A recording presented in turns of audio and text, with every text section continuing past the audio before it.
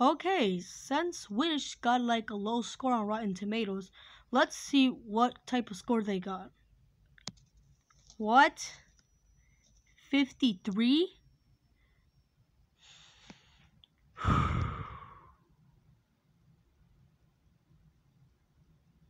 I am so speechless right now.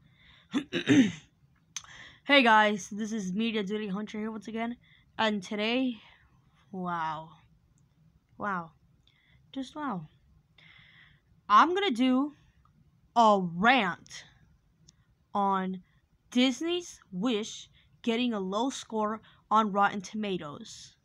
Yeah, so like back on Friday, it actually got a 64%, which, okay, that's actually kind of decent for a Disney movie, I guess.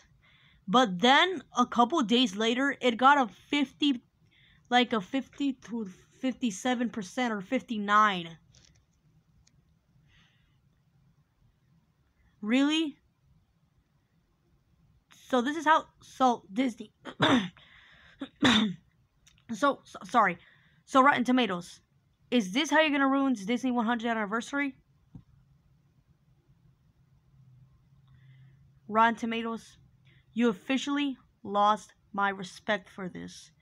First, we got Ant Man and the Wasp Quantumania, which got a low score. Then we got the Mario movie, which also got a low score, but a lot of people liked it. Then we got um Shazam, and we even got Elemental that got a low score on Rotten Tomatoes, which thankfully it's now at 75%. Thank the Lord God. Okay, Disney. Okay. Disney, you you can't okay, Rotten Tomatoes, okay. You can't just you can't just give Disney films a low score. Okay? Like, I'm not gonna call this movie underrated. No, no, no. There's too much films that are really underrated. Like, it's just too much. Like, a lot of Disney movies are getting a lot of hate recently. Like, for example, um, Elemental got hate. Um, um, Strange World got hate this last year, which that movie is so bad. Even Lightyear got hate.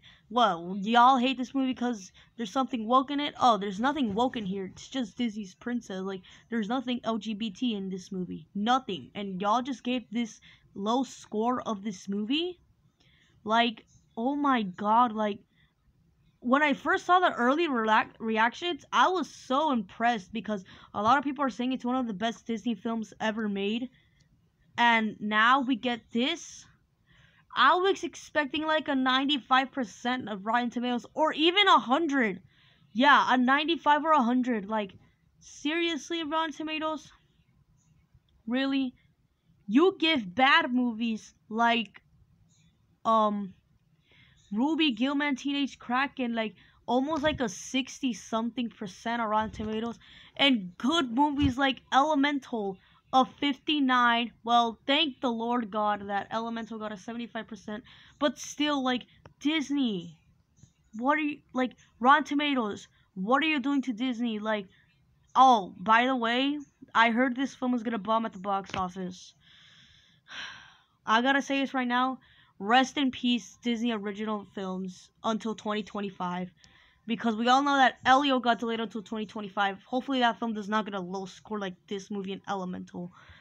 And we're getting Inside Out 2 next year, which that's a sequel to a a popular 2015 movie which please for the love of God Rotten Tomatoes don't give that film a low score. If not I'm done. I'm done. I just can't. I can't. And y'all even gave the Marvels like a low score, which I can totally understand why, because it's it's about like it's about a lot about women um about women feminism and y'all y'all some people are like oh this movie's well because it has women. No. And like Disney I mean Rotten Tomatoes.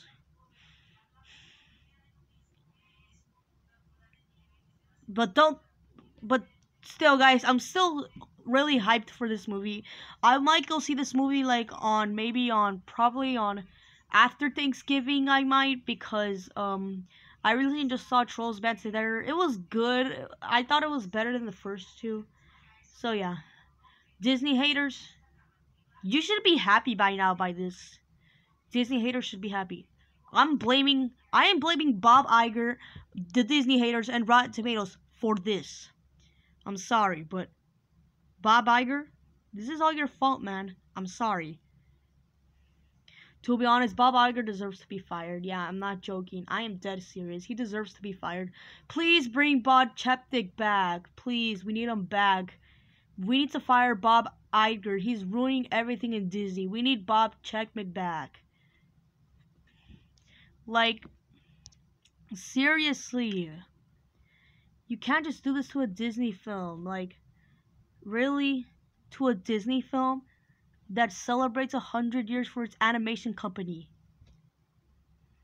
Well, imagine if Pixar turns like a hundred years old in the next in the next like twenty or thirty years, and one film that celebrates Pixar's 100th anniversary gets a low score like this movie. Imagine that. That'll be so crazy. Like, wow. Even I heard this movie's gonna bomb at the box office. It even says it's gonna be worse than the Marvels at the box office. Honestly, I I need to respect. We're gonna. I'm gonna have to respect my prayers. Rest in peace, Disney original animation. Rest in peace, Disney original animation. You had a lot of good movies. Well, only a few. Only Strange World was so bad. Strange World was so bad. Turning Red was honestly good, but it's kind of cringe. Turning Red is good but cringe. Um, Luca, yeah, I think that film is pretty good. Soul, that that was an awesome film. Um, I love that movie. And Onward, yeah, I'm sorry guys, but that movie's a major disappointment. So guys, rest in peace to Disney original animation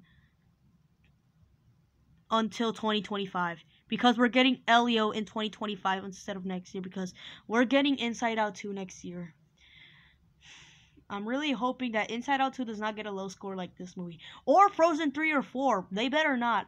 Or either Zootopia 2. Please, Disney. Just, please, Rotten Tomatoes, just stop giving good movies a low score and bad movies a good score. Like, why? Like, like, I mean, like, it's like, it's just like, I feel like Rotten Tomatoes doesn't even care about Disney. Yeah, he doesn't even care about Disney, nor Illumination, or Marvels. Or Marvel Studios. Sorry about that. Sorry about that, guys. And, um, like, that is just crazy. Like, imagine if Walt Disney was in heaven.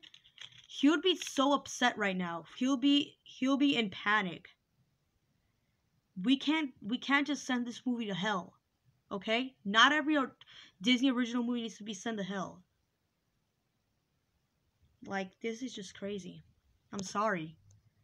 I can't.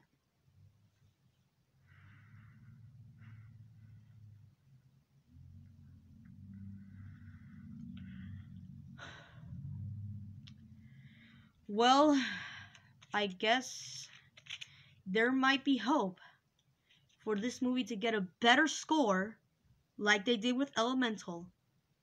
Probably a 75 or like an 80. An 80. That would be good. Like, yeah, I am very sad that this movie's gonna bomb at the box office. Worse than the Marvels. Hey, at least it's gonna come out to Disney Plus. May hopefully later this year in December, just like they did with both Encanto and Strange World and this movie might be a mega, a huge success at Disney Plus, like they did with Elemental, because as I've heard, because as I heard that Elemental just became one of the most successful films on Disney Plus. Next to Encanto, like yeah, I remember Encanto got so successful at Disney Plus, and it started to get popular, and its box office started to get huge too. Same with Elemental. So I'm hoping that this movie could be successful at on Disney Plus because I heard it's gonna flop in theaters. I'm sorry, but it's gonna flop. Right now, I feel bad for Disney. I feel so bad for Disney. I, I, I will still support Disney for my whole entire life. I grew up watching Disney. I grew up watching Pixar. I grew up watching everything that's Disney or, or Pixar.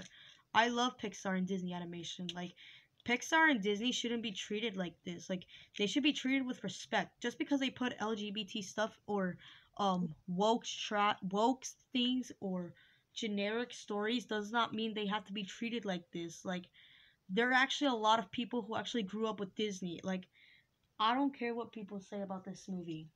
You know what? I'm still gonna go see this in theaters like I did with the Marvels and Elemental.